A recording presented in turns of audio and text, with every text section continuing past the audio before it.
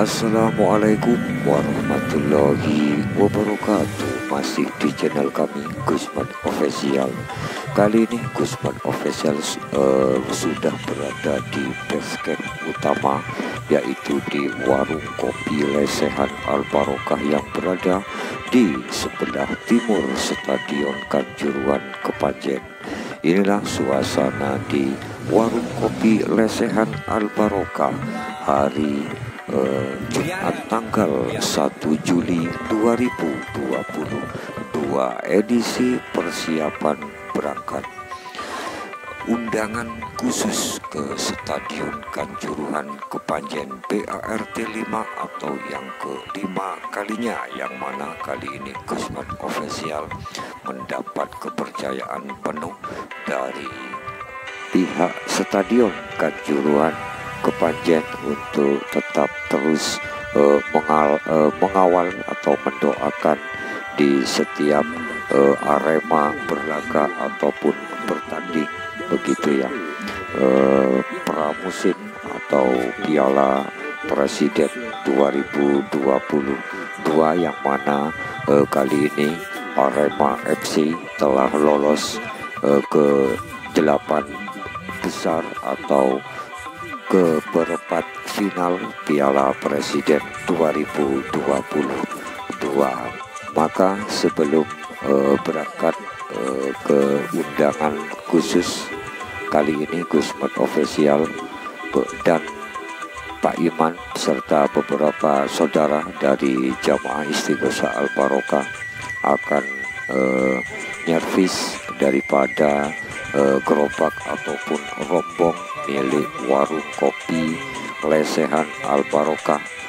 Dan Alhamdulillah eh, kali ini Gusman Official dan jamaah Istiqomah Al Barokah juga mendapat tambahan rezeki yaitu berupa speaker aktif eh, untuk eh, acara rutinan jamaah Istiqomah Al Barokah dari saudara Bapak Bagus dari Sukun Kepanjen mudah-mudahan uh, bisa bermanfaat dan berguna begitu dan sebaliknya. Semoga Bapak bagus uh, diganti rezeki uh, lebih barokah lebih banyak uh, lantaran uh, dapat ataupun bisa uh, membantu walaupun berupa speaker aktif untuk uh, rutinan jamaah istiqomah Al Barokah. Hari ini Jumat tanggal 1 Juli 2022 edisi persiapan berangkat uh, undangan khusus atau undangan yang kelima untuk uh, mendoakan kelancaran pertandingan besok hari Sabtu uh, tanggal 2 uh, Juli 2022 yang mana uh, Arema FC eh, versus uh, Barito Putra akan bertanding uh, di Stadion Kanjuruhan Kepanjen pukul 15.30 WIB ataupun Ba'da Azhar. Tonton sahabat subscribe ya video ini selengkapnya jangan di skip-skip Agar tidak penasaran jika bermanfaat, jangan lupa dibantu subscribe, like, share, and komen gratis. Di depan kamera Bapak Imam Maliki eh, dan dibantu oleh beberapa dari anggota jamaah rutinan Istiqomah Bahtaruk Ikomi Al Baroka untuk eh, servis eh, menyervis rombong ataupun gerobak milik eh, warung kopi lesehan Al Barokah yang berada di Stadion Kanjuruhan Kepanjen. Warung kopi lesehan Al Barokah adalah satu-satunya tempat usaha dari dulu eh, yang membantu setiap eh, kebutuhan dan berupa dana eh, operasional daripada jamaah rutinan istiqomah Bahtaruk Ikomi Al Baroka Warung Kopi Lesehan Al Baroka didirikan oleh Gusmat Official sejak tahun 2004.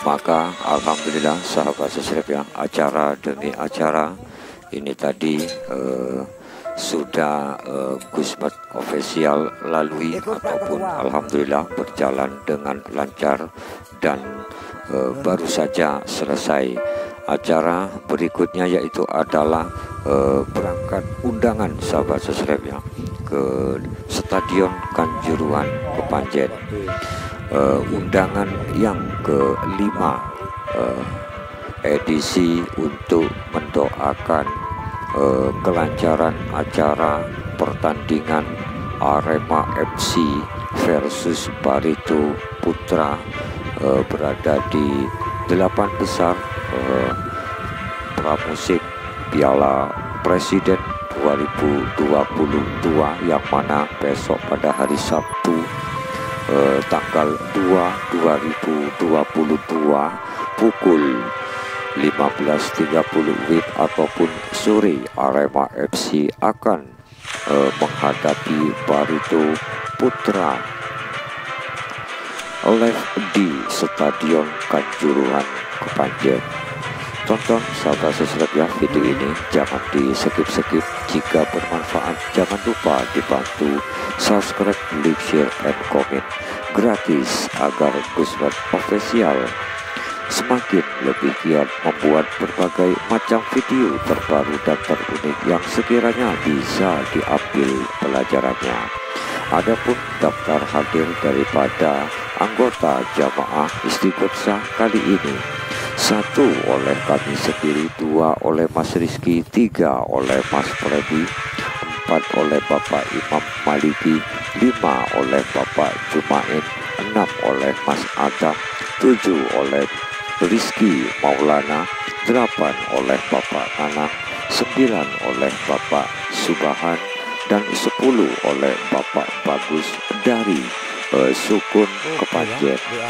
Adapun susunan acara satu pembacaan arwah oleh Gusman Official, dua pembacaan surat Yasin dan dilanjut zikir oleh Gusman Official, kemudian penutup doa amin. Maka inilah suasana di dalam uh, Stadion Kanjuruan Kepanjen jelang uh, pertandingan uh, Arema FC versus Barito Putra besok hari Sabtu tanggal 2 Juli 2022 pukul 15.30 WIB ataupun sore live di Stadion Kanjuruhan Kepanjen. Berikut ini adalah uh, renungan mengenai enam manfaat mendoakan orang lain. Salah satu bentuk komunikasi kita sebagai umat muslim dengan Allah Subhanahu wa taala adalah dengan cara berdoa. Biasanya kita berdoa kepada Allah Subhanahu wa taala untuk memohon atau meminta hal-hal baik untuk diri kita sendiri. Tetapi ternyata jika kita menyelipkan doa-doa terbaik untuk orang lain, maka itu juga akan mendatangkan banyak manfaat untuk diri kita sendiri. Nabi Muhammad Shallallahu Alaihi Wasallam bersabda, doa seorang Muslim untuk saudaranya dengan tanpa sepengetahuan saudaranya itu mustajabah atau mustajab. Di atas kepala orang itu ada malaikat yang mencatatnya. Setiap kali orang itu mendoakan kebaikan bagi saudaranya, maka malaikat tersebut mengucapkan amin atau semoga Allah Subhanahu wa taala mengkabulkan. Dan untukmu juga seperti itu. Hadis riwayat Muslim. Berikut ini adalah ulasan mengenai enam manfaat mendoakan orang lain versi Ustadz Muhammad Slamet Safi Mulazama Ikomi Al-Barokah. Satu, hidup jadi lebih bermakna. Hidup di dunia ini hanya sebentar. Untuk itu jangan buang-buang waktu Dan manfaatkan waktu yang tersisa Dengan menghiasinya dengan perbuatan bermakna Salah satunya dengan mendoakan orang lain. Ketahuilah, mendoakan orang lain di sini membuat hidup jauh lebih bermanfaat ketimbang sibuk menyerapahi atau membuka aib buruk orang lain. Dengan mendoakan orang lain, hati pun menjadi sejuk dan tenang karena kamu berupaya untuk menjadi pribadi yang positif. Dua, punya energi positif. Saat kamu mau meluangkan waktu untuk mendoakan orang lain, maka kamu akan memperoleh banyak manfaat dalam hidupmu. Salah satunya, kamu akan mendapatkan energi positif yang membuatmu bersemangat dalam menjalani hari. Hal ini disebabkan karena suasana hatimu yang terut yang turut bahagia dengan mendoakan orang lain. Oleh karena itu, ketika kamu bertemu dengan orang lain di jalan seperti pengemis atau petugas kebersihan dan lain-lain, maka jangan sungkan untuk melantunkan doa dari lubuk hatimu kepada mereka. Misalnya mendoakan mereka agar senantiasa sehat dan lancar rezekinya. Tiga, memiliki kepekaan sosial yang tinggi. Saat seseorang senantiasa mendoakan orang lain, maka ia sedang berupaya untuk berdamai dengan egonya. Kenapa demikian? Karena seseorang yang memiliki ego tinggi dan hanya memperdulikan diri sendiri biasanya cenderung untuk tidak mau berusaha bersusah payah memikirkan orang lain, bahkan sampai mendoakannya. Untuk itu, bersyukurlah bagi kamu yang memiliki kebiasaan positif untuk mau mendoakan orang lain di mana pun kamu berada atau bertempat. Perilaku ini akhirnya membentuk karaktermu menjadi seseorang yang memiliki kepekaan sosial yang tinggi dan mau peduli dengan sekitar. Ingat kamu hidup di dunia ini bukan sendiri Melainkan berdampingan dengan orang lain. Sudah seharusnya juga memikirkan dan menyelipkan doa terbaikmu Untuk orang-orang di sekitarmu dan orang lain Empat hidupmu dipenuhi dengan kebaikan. Setiap kebaikan yang kamu lakukan dengan ikhlas tentu akan mendatangkan balasan berupa kebaikan pula ke dalam hidupmu. Hal ini terjadi karena adanya ridho dari Sang Maha Pencipta atas kebaikan yang kamu lakukan kepada orang lain. Saat kamu tulus mendoakan hal-hal baik untuk orang lain dan orang-orang di sekitarmu, maka doa yang kamu panjatkan tersebut juga akan kembali kepadamu sendiri. Karena itu jangan menganggap perbuatan mendoakan orang lain seperti yang sudah biasa oleh Ustadz Muhammad Selamat Safi Mulazama Ikomi Al-Barokah ini lakukan maka bukan sebagai hal yang sia-sia justru malah akan mendatangkan pahala bagimu. Lima, bisa membahagiakan orang lain. Apa yang kamu rasakan saat melihat orang tuamu bahagia? Tentu kamu pun akan turut senang dan merasa ikut bahagia. Ini karena adanya rasa cinta dan kasih sayang dalam dirimu terhadap orang tua. Begitu juga ketika kamu mau mendoakan orang lain dan orang-orang di sekitarmu, kamu berupaya untuk menularkan kebahagiaan kepada orang lain.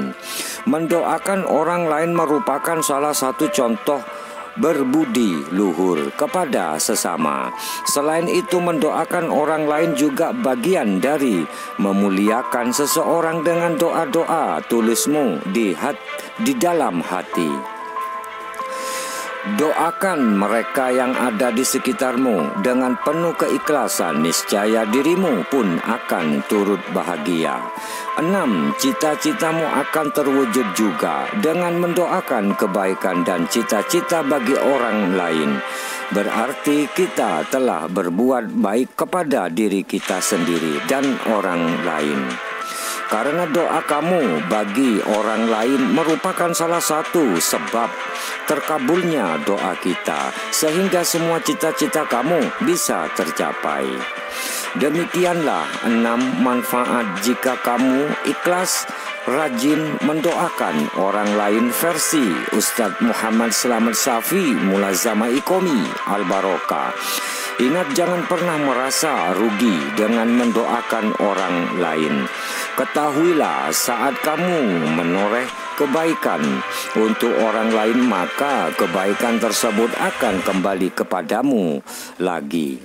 Jamaah Istighosa Al Barokah uh, visi dan misi satu pencinta hol akbar dua pencinta riado masal terapi dohir batin atau rukyah masal dan niat saling sambung doa bersama tiga pencinta santunan yatim piatu dan fakir miskin yang insya Allah bisa melahirkan putra putri serta mengantarkan para anggota jamaah Istighosa Al-Barokah Muslimin Muslimah dan anak cucunya menjadi anak-anak yang soleh dan soleha serta memiliki akhlak yang mulia. Terima kasih atas kehadirannya serta sambung doanya di mana pun bertempat, baik di tempat rutinan ataupun undangan. Maka sambung doa kami, Ya Allah muliakanlah tiap-tiap para jamaah istighosa al-barokah ini serta keluarganya. Wabil khusus para jamaah istighosa al-barokah yang hadir setiap pertemuan rutinan ini. Ya Allah panjatkanlah, panjangkanlah umurnya, terangilah hatinya, teguhkanlah imannya, perbaikilah amal perbuatannya, lapangkanlah rizkinya, dekatkanlah pada kebaikan dan jauhkanlah dari keburukan. Untuk informasi dan insya Allah pengetahuan yang bermanfaat dari Ustadz Muhammad Selamat Safi Mulazama Ikomi Al Barokah atau PM Al Barokah atau Gusmet Official beliau adalah penerus dan pengasuh jamaah rutinan istighosa Mbah Tarub Ikomi Al Barokah periode yang ketiga. Maka Anda bisa dengan cara menghadiri rutinan jamaah istighosa Al Barokah ganjaran mantap semoga kita sekalian khususnya jamaah rutinan istighosa Mbah Tarub Ikomi Al Barokah serta keluarga serta keluarganya selalu tetap dalam bimbingan taufik hidayah serta rahmatnya dan ridho Allah subhanahu wa ta'ala sa'lawasi amin ya rabbal alamin mari kita mengenal lebih dekat dengan penerus sekaligus pengasuh jamaah rutinan istighosa Mbah Taruk Ikomi Al-Barokah.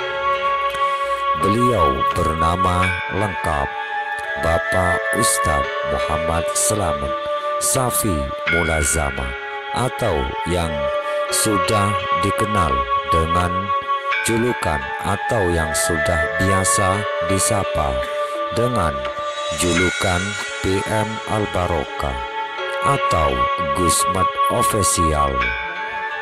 Sosok Regilius Cicit dari pendiri Duta Family Al-Barokah tempat pemberi segala sarana dan segala solusi.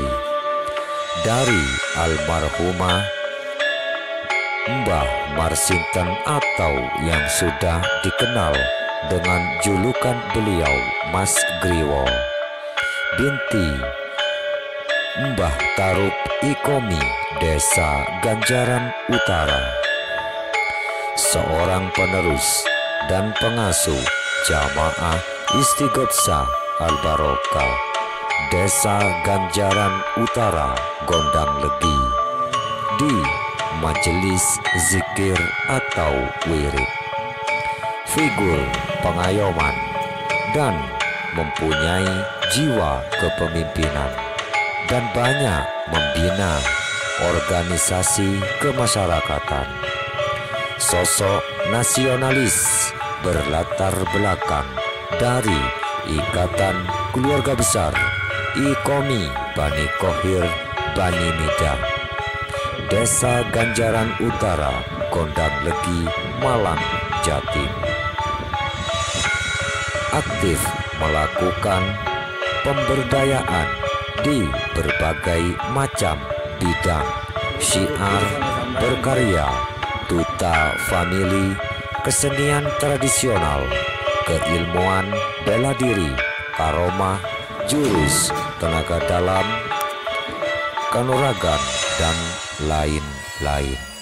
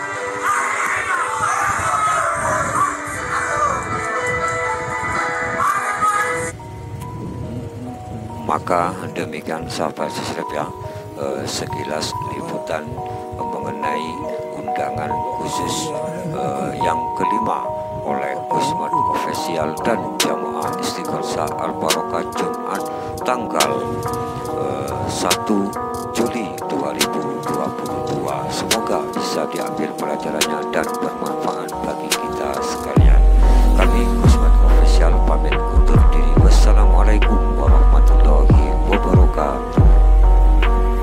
أتيت على الحسن